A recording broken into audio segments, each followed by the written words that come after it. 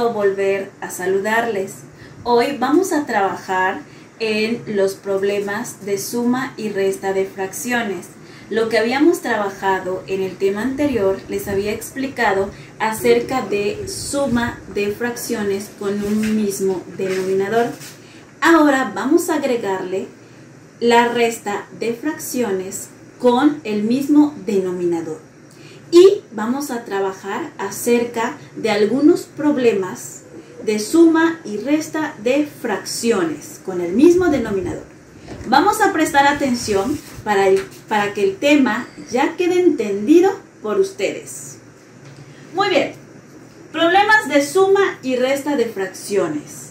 Para realizar una suma de fracción con el mismo denominador, Vamos primero a sumar los numeradores. Recuerden que los numeradores son los números que están arriba y los denominadores son los números que están abajo.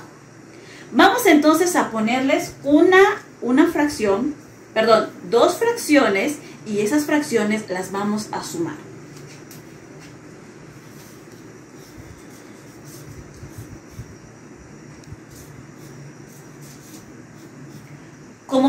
observar, aquí ya tengo dos fracciones y vamos a sumarlas. Recordemos que les había explicado que no solamente podemos sumar dos fracciones, sino que podemos sumar dos o más fracciones, siempre y cuando tengan el mismo denominador, porque si es así, el mismo denominador se conserva.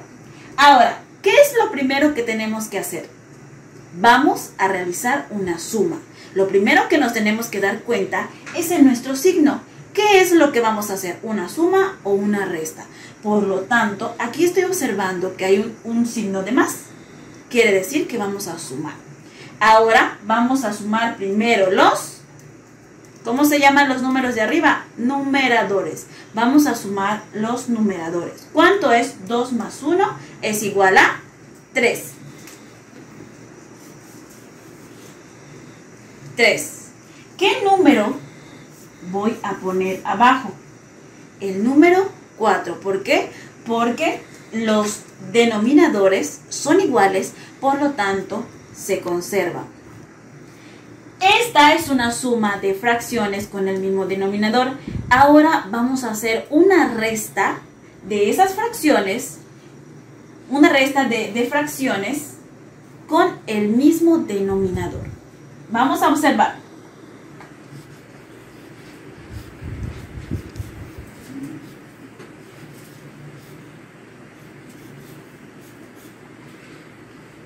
Ahora tengo un signo de menos que me indica que tengo que realizar una resta. Por lo tanto, voy a restar mis fracciones. Primero resto numerador. 5 menos 3 es igual a 2. ¿Y qué número voy a poner abajo? 4. Por lo tanto, ya sé cómo sumar fracciones con el mismo denominador y ya sé cómo restar fracciones con el mismo denominador. Esto es muy facilito. Ahora, les había explicado en el primer video que vamos a empezar a trabajar de lo más simple a lo más complejo y ya estamos llegando a lo complejo, es decir, que vamos a ver algunos problemas para que ustedes en casita puedan resolver mediante una suma o una resta. Vamos entonces a abrir nuestro libro, libro de matemáticas desafíos, en la página 222 pueden empezar a abrir su libro, página 222, y vamos a encontrar algunos de estos problemas que vamos a explicar hoy en este video. Muy bien, ya que tienen abiertos sus libros, ahora vamos a la página 222 y vamos a localizar estos problemas. Vamos entonces a leer. Ernesto hace moños con listones de colores Tenía tres cuartos de metro de listón rojo y solo ocupó un cuarto. ¿Cuánto listón le quedó? Como les había mencionado en las clases anteriores, que, que, tuvimos clases presenciales, les había explicado que cuando vamos a resolver un problema, ¿qué es lo primero que tenemos que hacer? Tenemos que leer detalladamente ese problema para que podamos entender qué es lo que se tiene que realizar. Si una suma, si una resta, una multiplicación. ¿Qué es lo que me está pidiendo ese problema? Y ahora, como estamos trabajando suma y resta de fracciones, pues ahora, ¿qué es lo que me pide?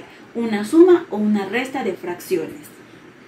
Ahora, ¿qué piensan ustedes en casita que, que tenemos que realizar? ¿Qué será?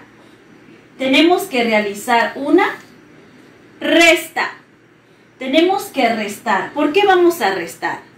Porque me están explicando que Ernesto tenía tres cuartos de metro de listón y solo ocupó un cuarto.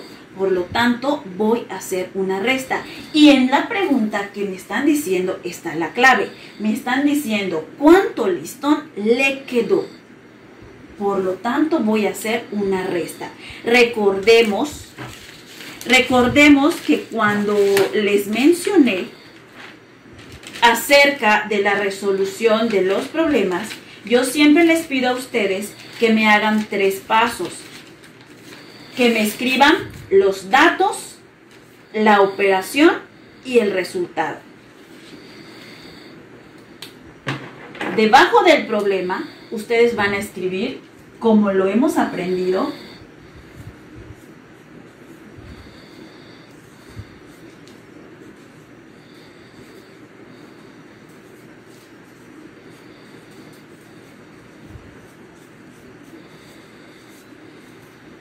Como lo hemos aprendido, ustedes siempre en cada problema, esto es lo que estamos trabajando, que ustedes me escriban los datos, la operación y el resultado. Ahora, en este problema, ¿cuáles serían los datos? ¿Cuáles serían los datos? Sería que primero tenía tres cuartos de metros de listón, me lo van a escribir acá, tres cuartos de listón, y luego utilizó un cuarto de ese listón. Esos son mis datos que me están dando en este problema. Ahora, ahora aquí voy a hacer mi operación. ¿Y cuál es mi operación? Voy a restar tres cuartos menos un cuarto. Lo voy a poner acá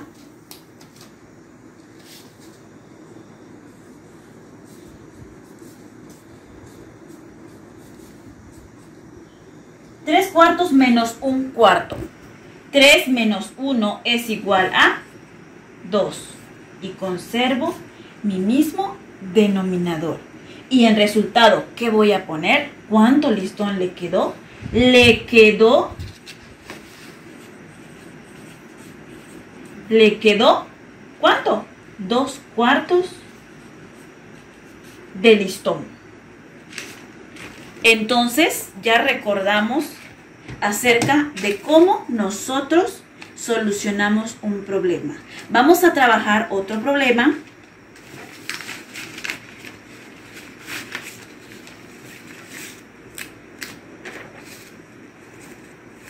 Vamos a trabajar otro problema. Siempre está en la página 222 de nuestro libro de desafíos. Localícenlo. Esta, perdón, Estela colecciona balones. Los que aparecen en el dibujo representan un tercio de su colección. ¿Cuántos tiene en total? Es decir, ¿cuántos balones tiene en total? Primero, ¿qué tengo que hacer? Porque solamente, ¿cuántos datos me están dando? Solamente me están dando un dato escrito en este problema. Pero, si yo cuento el total de mis balones, puedo darme cuenta que son 18 balones. 1, 2, 3, 4, 5, 6, 7, 8, 9, 10, 11, 12, 13, 14, 15, 16, 17, 18. Ahora, ¿cómo voy a localizar un tercio de su colección? O sea, ¿cuántos balones corresponden a un tercio? ¿Cuántos tienen en total? ¿Qué es lo que tenemos que hacer en este ejemplo? agarrar tres grupos de cuánto? Para que se dividan en partes iguales. ¿De cuánto? De seis. Es decir, que voy a agarrar tres grupos de seis. Uno, dos, tres, cuatro, cinco, seis. Lo voy a encerrar aquí. Lo voy a poner aquí para que ustedes vean.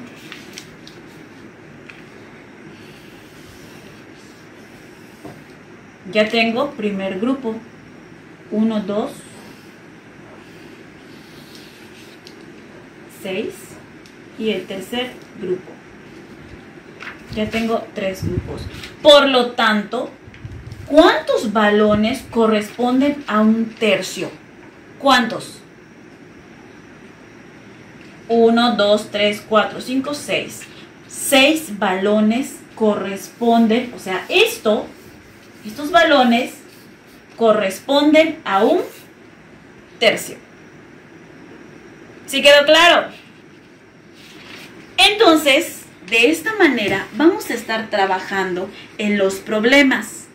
Espero que haya quedado claro la resolución de, de estos problemas efectuando la suma y la resta de fracciones. Les voy a estar mandando varios ejercicios similares a estos y vamos a estar trabajando en la libreta de matemáticas. Cuando yo les marque copiar ejercicios, ustedes tendrán que copiar el ejercicio en su cuaderno. Y trabajaremos también en el libro de desafíos como lo acabamos de hacer en este momento. Bueno, pues eso ha sido todo y nos vemos en el próximo video.